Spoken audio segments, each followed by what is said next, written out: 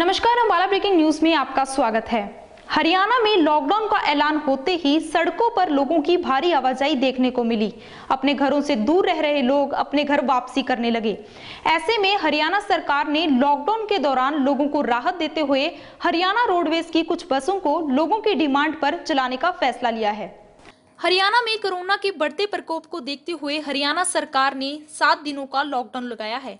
कल लॉकडाउन का ऐलान होने के बाद से ही हरियाणा की सड़कों पर लोगों की भारी आवाजाही देखने को मिली। घर से दूर नौकरी कर रहे व अन्य जगह पर रह रहे लोग अपने घर वापसी कर रहे हैं। इसी कारण आज लॉकडाउन के बावजूद सड़कों पर भारी आवाजाही देखने को मिली।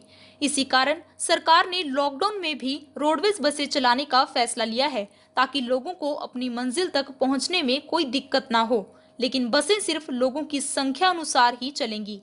अंबाला शहर के बस अड्डे पर काफ़ी लोग बसों की प्रतीक्षा करते हुए नज़र आए। जब लोगों से हमारी टीम ने बात की तो उन्होंने बताया कि सरकार ने एकदम से लॉकडाउन का ऐलान कर दिया है, जिसकी वजह से घर से बाहर रह रहे लोगों को अपने घर वापस जाने में परेशानी का सामना करना पड़ रहा है। रिश्तेदारी में आया था अपने, एकदम से फंस गए यहाँ पे ना।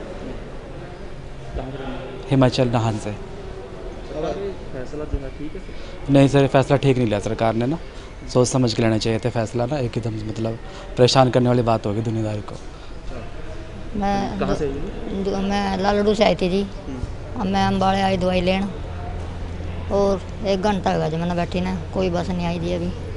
क्या करने आए थे? मैं दवाई लेना आई थी जी। सरकार का फैसला ठीक है लॉकडाउन का? लॉकडाउन का तो गलत है ये। एकदम लॉकडाउन ला दिया। वहीं रोडवेज़ जीएम अंबाला ने बताया कि कल हरियाणा सरकार द्वारा लॉकडाउन लगाने के बाद आदेश आए हैं कि 50 प्रतिशत कैपेसिटी के साथ पब्लिक ट्रांसपोर्ट चलेगी, उसी के हिसाब से बसों का चलन किया जाएगा। बसों में सुरक्षा की दृष्टि से कोरोना नियमों का पालन किया जा रहा है। बसें फ़िलहाल डिमांड के हिसाब से चल रही हैं। उन्होंने बताया कि हमारे यहाँ से पलायन के चलते उत्तर प्रदेश से बसों की ज़्यादा डिमांड आ रही है। इससे पहले जो कि डिजास्टर अथॉरिटी की तरफ़ से भी आया था रनर डिजास्टर अथॉरिटी की तरफ़ से फिफ्टी परसेंट तक कैपेसिटी चलेंगे। और जैसे अभी पीछे भी अभी कल कल ही जो घोषणा हुई है कि लॉकडाउन लगाया गया एक हफ़्ते का तो इसके दौरान जो भी आदेश आए हैं कि 50 परसेंट ऑफ़ कैपेसिटी के हिसाब से पब्लिक ट्रांसपोर्ट चलेगी तो उसी हिसाब से ही संचालन किया जा रहा है। और ख़ास तौर पे ध्यान रखा जा रहा है कि थर्मल स्क्रीनिंग वहाँ पे होगी, और लोगों को ये बोला बताया बताया जा रहा है वहाँ पर अवेयरनेस भी कराई जा रही है कि दो गज की दूरी और मास्क ज़रूर पहना वहाँ पर पहने जाए, जिसमें कनेक्टर और ड्राइवर भी खुद इस कोशिश को जो है, कोशिश कर रहे हैं कि इसकी सख्त से सख्त पालना हो सके। बसेस जो है एज़ पर अब डिमांड ही चल रही है। जैसे पहले तो रोटेशन जो थी, जैसे हमारा एक रोटा जो निकालते थे, हम उसके अनुसार चल रहा था। लेकिन अब क्योंकि दिल्ली जैसे लॉकडाउन पीछे लगा तो उससे क्या हुआ, यहाँ से सवारियाँ पहले भी कम थी और वहाँ से तो और भी कम हो गई। तो इसको देखते हुए, मद्देनज़र देखते हुए कि दिल्ली की कम की गई हैं बसें।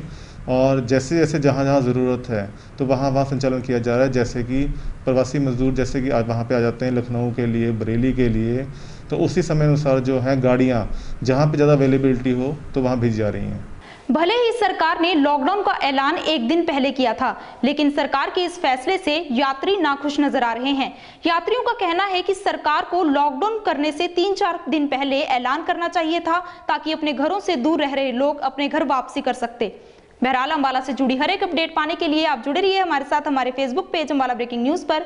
और हमें यूट्यूब पर भी सब्सक्राइब करें और अपने फ़ोन स्क्रीन पर डेली अपडेट्स पाने के लिए प्ले स्टोर से हमारी ऐप को डाउनलोड करना ना भूलें।